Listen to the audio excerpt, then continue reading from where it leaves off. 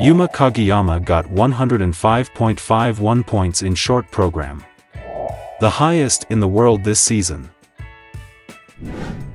The men's short program was held, and Yuma Kagiyama, silver medalist at the 2022 Beijing Olympics, scored 105.51 points, the highest in the world this season.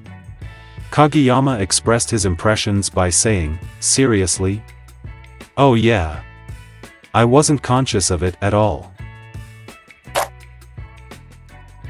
Kagiyama competed in the GP series for the first time in two seasons at the French Championships in November of this year, and finished third.